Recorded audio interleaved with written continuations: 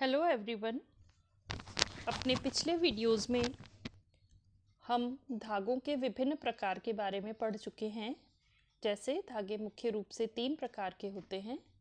साधारण धागे, यानी सिंपल यार्न्स फैंसी या नोवल्टी यार्न्स और तीसरे प्रकार के टेक्सचर्ड यार्न्स या टेक्सचर्ड धागे।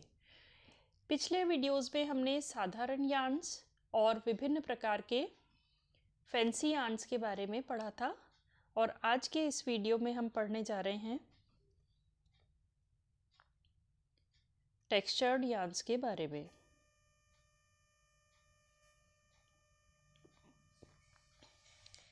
सबसे पहले हम समझते हैं कि टेक्सचर्ड यार्न होते क्या हैं।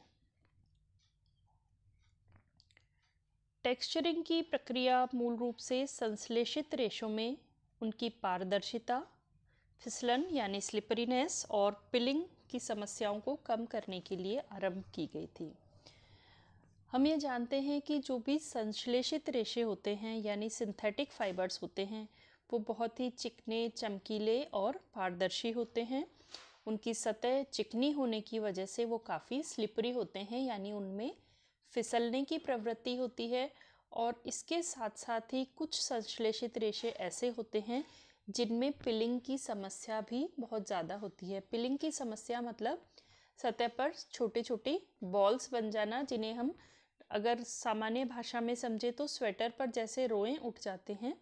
उसी तरीके से सिंथेटिक फाइबर्स से बने हुए कपड़ों में भी कई बार छोटे छोटे बॉल्स जैसी संरचनाएँ बन जाती हैं।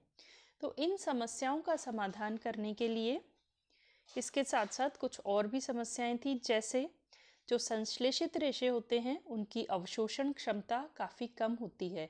उनकी एब्जॉर्बेंसी पुअर होती है, वो पसीने को या पानी को या नमी को सोख नहीं पाते और इसकी वजह से आरामदायक नहीं होते। इसके साथ साथ ही उनकी सतह भी चिकनी होती है तो उसमें बहुत ज़्यादा चमक होती है। कई बार ये चमक कांच से जो ग्लेयर आता है, चौंधा आता है, उसकी तरह से आँखों को चुभने वाली होती है, बहुत ही अनाकर्षक होती है अनप्लीजेंट होती है। तो टेक्सचरिंग या टेक्सचर डेवलप करके जो भी फिलामेंट यार्न्स हैं, उन यार्न्स को टेक्सचर के द्वारा सतह में परिवर्तन किए जाते हैं और इस सतह में जो टेक्सचर में परिवर्तन होते हैं उसकी वजह से इनकी हाइजीनिक प्रॉपर्टीज़ और अन्य जो गुण हैं, उनको बेहतर बनाया जाता है, उनको और अच्छा किया जाता है इम्प्रूव किया जाता है। टेक्सचर्ड यार्न कभी भी स्टेपल फाइबर से नहीं बनते हैं, बल्कि इसके लिए पूरी तरह से ड्रॉ किए हुए या खींचे हुए फिलामेंट्स की ज़रूरत होती है और उनकी सतह को, यानी सरफेस इम्प्रेशन को, उनकी आकृति और टेक्सचर को पूरी तरह से बदल दिया जाता है या चेंज कर दिया जाता है, तब साधारण फिलामेंट्स टेक्सचर्ड यार्न के रूप में परिवर्तित हो जाते हैं। दो टेक्सटाइल फाइबर्स संश्लेषित रेशे नायलॉन और पॉलिएस्टर हैं, जिनको टेक्सचरिंग के लिए काम में लिया जाता है प्रमुख रूप से।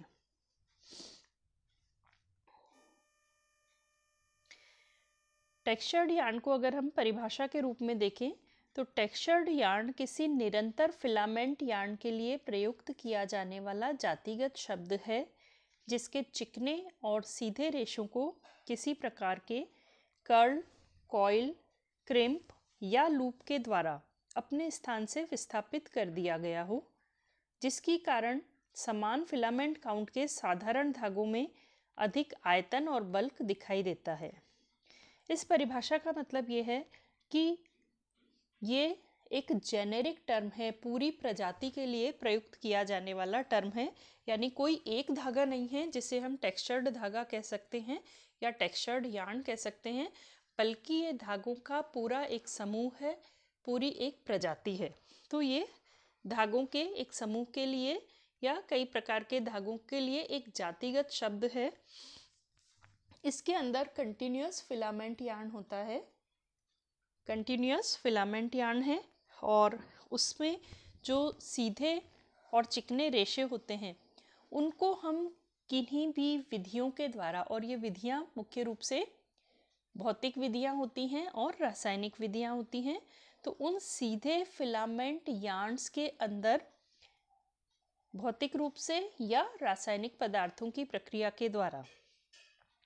या तो कर्ल्स बना दिए जाते हैं, या कॉइल्स या क्रिम्स या फिर लूप डाल दिए जाते हैं और उनको अपने स्थान से डिस्प्लेस कर दिया जाता है, अपनी जगह से हटा दिया जाता है। इसके कारण जो यार्न प्राप्त होता है, वो टेक्सचर्ड यार्न कहलाता है और उसमें सेम फिलामेंट काउंट के बावजूद भी साधारण धागे में जो बल्क और आयतन नहीं होता, वो बहुत कम फ्लफ़ी होते हैं, बल्कि नहीं होते, जबकि सेम काउंट के बावजूद उन्हीं मापदंडों को लेते हुए भी यार्न के अंदर बल्क यानी वो उभरा हुआ मोटा सा दिखाई देता है और उसमें आयतन बढ़ा दिया जाता है। फूला फूला फ्लफ़ी महसूस होता है, इस तरह का टेक्सचर्ड यार्न होता है, जबकि सामान्य रूप से जो हम फिलामेंट यार्न देखते हैं, वो एकदम चिकने, चमकीली सरफेस वाले होते हैं। इन टेक्सचर्ड यार्न्स की खास बात ये होती है, प्रमुख विशेषता ये होती है कि ये धागे अधिक खिंचाव को सहन कर सकते हैं, यानी इनकी स्ट्रेच एबिलिटी बहुत अच्छी होती है और इनको जो विकृत किया जाता है या ये डिफॉर्म किया जाता है या साधारण फिलामेंट्स के अंदर जो टेक्सचरिंग की जाती है, वो प्रक्रिया भौतिक, रासायनिक या तापीय प्रक्रियाओं के द्वारा या फिर इनके कॉम्बिनेशन यानी संयोजन प्रक्रियाओं के द्वारा उत्पन्न की जाती है और इसके कारण इनका जो स्वरूप होता है, इनका जो अपियरेंस होता है, वो इनके मूल स्वरूप से बिल्कुल अलग या भिन्न हो जाता है। इस प्रक्रिया को बल्किंग कहा जाता है। अब इस बल्किंग प्रक्रिया में क्या होता है? हवा के स्थान बन जाते हैं। बल्किंग की वजह से बीच बीच में छेद हो जाते हैं बीच बीच में जगह बन जाती है और उसकी वजह से एक तो रेशों के बीच में एयर पॉकेट्स बन जाती हैं और उन एयर पॉकेट्स की वजह से इनकी अवशोषण क्षमता यानी एब्जॉर्बेंसी बढ़ जाती है और साथ ही पारगम्यता यानी परमिएबिलिटी हवा के आने जाने की व्यवस्था भी बढ़ जाती है। यानी इनको पहनकर हम बहुत कंफर्टेबल फील कर सकते हैं, आरामदायक महसूस कर सकते हैं। ये जो बल्किंग की प्रक्रिया है, यानी इनका आयतन बढ़ाने की या वॉल्यूम बढ़ाने की प्रक्रिया है, उसको या तो हम क्रिम्पिंग से कर सकते हैं और क्रिम्प्स क्या होते हैं, जैसे हमने ऊनी रेशे में पढ़ा था, प्राकृतिक रूप से इसके अंदर क्रिम्प बने हुए होते हैं, यानी कुंडलीदार या घुमावदार संरचनाएँ होती हैं, या फिर इसमें कर्ल बनाए जाते हैं तो एक निश्चित अंतराल पर कर्ल्स या लूप्स बनाए जाते हैं या कभी कभी कॉइलिंग के द्वारा भी इसमें स्ट्रेचेबिलिटी उत्पन्न की जा सकती है। अब क्योंकि हमने अभी ये पढ़ा कि इसमें मुख्य रूप से नायलॉन और पॉलिएस्टर को काम में लिया जाता है। टेक्सचर्ड यार्ड के निर्माण के लिए नायलॉन या पॉलिएस्टर प्रमुख रूप से काम में लिए जाते हैं तो हम ये जानते हैं कि नायलॉन और पॉलिएस्टर दोनों ही ताप सुनम्य रेशे हैं, यानी थर्मोप्लास्टिक रेशे हैं। इसका मतलब ये है कि ताप देने पर या ऊष्मा के प्रभाव से ये रेशे, ये फिलामेंट्स पिघल जाते हैं और जिस भी अवस्था में हम इन्हें रखें, ये किसी भी शेप में ढल जाते हैं और अगर उसी शेप में हम इन्हें ठंडा कर दें तो ये उसी शेप में परमानेंट हो जाते हैं। ये चीज़ कहलाती है हीट सेटिंग यानी हीट के द्वारा शेप्स को डिज़ाइंस को सेट करना। तो सामान्य रूप से इनका निर्माण ऊष्मा के प्रयोग से, यानी हीट सेटिंग के द्वारा किया जाता है। हालाँकि कभी कभी टेक्सचरिंग के लिए केमिकल प्रोसेसेस भी यूज़ किए जाते हैं। 1970 के प्रारंभ में, ज़्यादातर जो बल्क युक्त टेक्सचर्ड यार्न्स थे, टेक्सचर्ड धागे थे, उनका निर्माण फॉल्स ट्विस्ट मेथड से किया जाता था। ये मेथड हम अभी डिटेल में आगे पढ़ेंगे। इस फॉल्स ट्विस्ट मेथड में लंबे फिलामेंट्स को ट्विस्ट करके हीट सेट कर देते हैं और उसके बाद ठंडा होने पर अनट्विस्ट कर लिया जाता है। और अगर ट्विस्ट समाप्त करने हो तो उन्हें फिर से गर्म करके और फिर ठंडा कर लेते हैं तो इससे परमानेंट ट्विस्टिंग उसके अंदर आ जाती है, जो एक्चुअल ट्विस्टिंग नहीं होती है और इसीलिए इसे कहा जाता है फॉल्स ट्विस्ट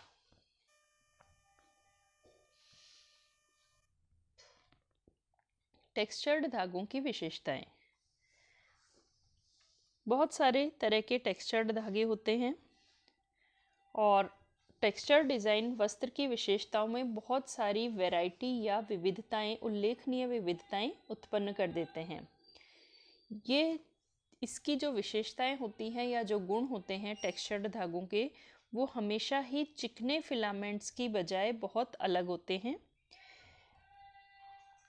इनमें टेक्सचरिंग के द्वारा सबसे पहले तो स्पन धागे जो भी होते हैं, उनको सुंदर बनाया जाता है, यानी उनमें सुंदरता के गुणों का समावेश किया जाता है। फिर इसका एक बहुत ही महत्वपूर्ण उद्देश्य है वो धागों को स्पंज जैसी क्वालिटी देना। इसके साथ साथ ही इसमें इसकी सतह के गुणों को परिवर्तित करके और रेशों के बीच बीच में स्थान देकर, यानी एयर पॉकेट्स बना कर के और वस्त्र की ब्रेथेबिलिटी यानी पारगम्यता बढ़ाई जाती है परमिएबिलिटी बढ़ाई जाती है और इसकी वजह से वस्त्र बहुत अधिक अवशोषक और आरामदेह हो जाता है। इसके साथ साथ ही उसके अंदर स्थिर विद्युत प्रवाह कम हो जाता है, जिसकी वजह से वस्त्र घर्षण के द्वारा या इन आवेशों के द्वारा जब हमारे शरीर पर चिपकते हैं तो वो चिपकने की प्रवृत्ति कम हो जाती है। इसके साथ साथ ही टेक्सचर्ड धागों से बने वस्त्रों में स्ट्रेच एबिलिटी बहुत ज़्यादा बढ़ जाती है, खिंचाव की क्षमता यानी इलास्टिसिटी भी बढ़ जाती है और बल्क भी बढ़ जाता है। टेक्सचर्ड धागों की संरचना ढीली होती है, लेकिन इनके जो क्रिम्प्स होते हैं वो काफ़ी मज़बूत होते हैं। इनकी देखभाल करना और यूज़ करना काफ़ी आसान हो जाता है। इसके साथ साथ ही इनको वस्त्र में परिवर्तन करना भी आसान हो जाता है, क्योंकि टेक्सचरिंग के द्वारा धागे की कताई की क्षमता और कोहेसिवनेस दोनों बढ़ जाती हैं। काफ़ी ये अच्छे एक दूसरे के साथ में चिपकने लगते हैं या एक दूसरे के साथ में मिलकर के धागा बनाना वस्त्र निर्माण में काफ़ी सहायक हो जाते हैं।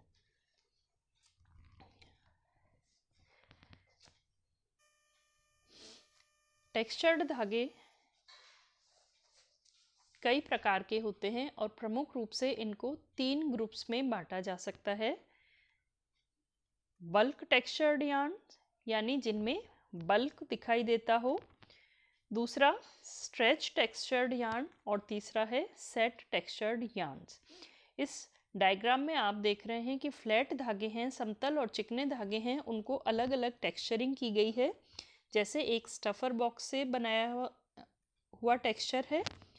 दूसरे में आप देख रहे हैं नीचे की तरफ़ एयर जेट तकनीक से बनाए हुए टेक्सचर्ड यार्न है और तीसरा फॉल्स ट्विस्ट से बनाए हुए टेक्सचर्ड यार्न है। तो आप इनकी तुलना कर सकते हैं कैसे ये फ्लैट यार्न से या चिकने समतल धागों से डिफरेंट होते हैं, कैसे इनके अंदर बल्क ऐड किया गया है एयर स्पेस या एयर पॉकेट्स बन गई हैं।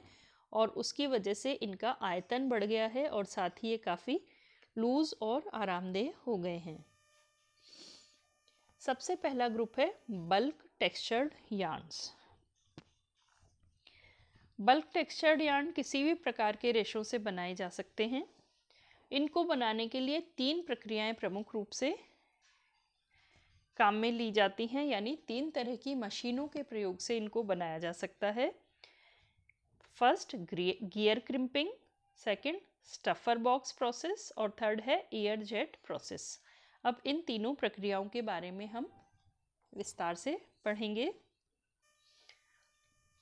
पहला है गियर क्रिम्पिंग तो इस डायग्राम में, इस इमेज में आप देख रहे हैं कि किस तरीके से गर्म गियर है और गियर के दांतों के बीच में साधारण फिलामेंट को रख दिया गया है और वो फिलामेंट जब गर्म गियर के बीच में से निकलता है, उसके दांतों के बीच में से गुजरता है तो साधारण चिकने फिलामेंट के अंदर क्रिम्पिंग हो जाती है या क्रिम्प्स बन जाते हैं और इसीलिए इस मेथड का नाम रखा गया है गियर क्रिम्पिंग। इस प्रक्रिया में फिलामेंट यार्न को दो गर्म गियर्स के दांतों के बीच में से गुजारा जाता है जिससे धागे में गियर के दांतों जैसी संरचना या आकृति बन जाती है। इनसे बनने वाले जो धागे होते हैं, वो सौ टूथ के समान दिखाई देते हैं, जैसा आप इसमें नीचे वाली इमेज में देख रहे हैं। इसका प्रयोग अगर ताप सुनम्य रेशों के साथ में किया जाए तो क्रिम्प स्थायी हो जाते हैं। हालाँकि इनको किसी भी प्रकार के रेशे के साथ में यूज़ किया जाता यूज़ किया जा सकता है। इस प्रक्रिया में, यानी गियर क्रिम्पिंग की प्रक्रिया में हम क्रिम्प की संख्या को नियंत्रित भी कर सकते हैं और दांतों के साइज़ पर डिपेंड करता है। अगर दांते बहुत बड़े बड़े हैं तो क्रिम्प्स भी बड़े और दूरी पर बनेंगे। अगर दांते छोटे छोटे हैं फाइन हैं तो क्रिम्प्स भी फाइन बनेंगे और पास पास बनेंगे।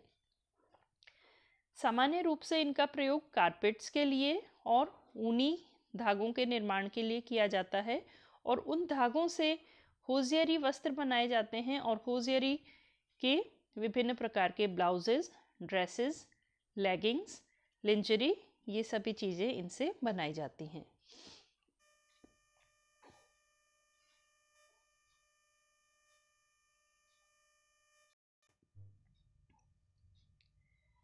दूसरी विधि है स्टफर बॉक्स मेथड या स्टफर बॉक्स प्रक्रिया।